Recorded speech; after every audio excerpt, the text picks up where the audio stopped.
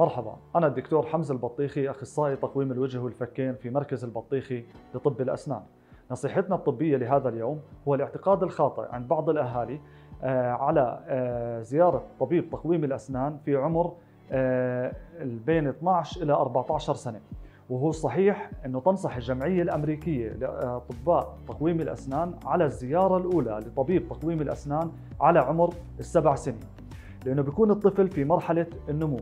فبنقدر نحل مشاكل كبيرة بأساليب أبسط هذا من المشاكل لازم نحلها على عمر مبكر.